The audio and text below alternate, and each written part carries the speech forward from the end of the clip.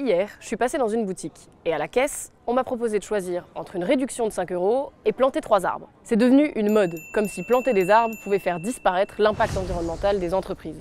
Mais en épluchant le rapport du GIEC, on se rend vite compte que planter des arbres n'est pas la solution miracle à la déforestation. Les forêts absorbent 7 milliards de tonnes de CO2 chaque année à travers le monde. C'est l'équivalent de ce qu'un pays comme les États-Unis émet en un an. Ça nous arrange bien ce coup de pouce des forêts, parce que du CO2, on en émet beaucoup trop.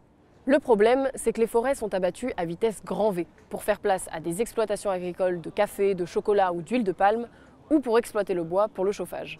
Pour compenser l'abattage de tous ces arbres, on pourrait se dire qu'on n'a qu'à en replanter d'autres. En fait, c'est plus compliqué que ça. Une forêt, c'est un écosystème qui s'est construit pendant des dizaines, voire des centaines d'années. Et plus un arbre est âgé, plus il absorbe de CO2. Le couper pour planter un jeune arbre qui va en absorber trois fois moins, c'est complètement absurde il faudra un long moment avant qu'ils ne deviennent un puits de carbone efficace. Et ces arbres ne sont pas à planter n'importe où. Dans un endroit non adapté, ils peuvent perturber l'écosystème local et même détruire les sols. Alors plutôt que de planter à tour de bras, le GIEC nous propose qu'on commence par protéger ce qu'il nous reste. Donc 1. On ralentit sur l'abattage des arbres et 2. Les forêts qui nous restent, on s'en occupe mieux. Et ça, ça porte un nom, ça s'appelle la gestion durable des forêts.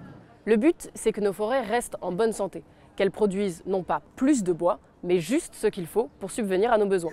C'est tout un équilibre à trouver. On coupe moins et plus intelligemment. Et surtout, on évite la forêt monoessence, c'est-à-dire avec une seule espèce d'arbre, car cela appauvrit l'écosystème.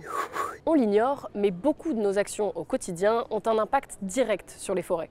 Tu peux calculer ton empreinte forêt en ligne pour comprendre combien de mètres carrés de forêt sont détruits chaque année à cause de ta consommation et comment réduire au maximum cet impact. Par exemple, si tu réduis ta consommation de bœuf de 20%, c'est 50% de déforestation en moins. Tu peux aussi arrêter d'acheter du cuir ou éviter les produits avec de l'huile de palme.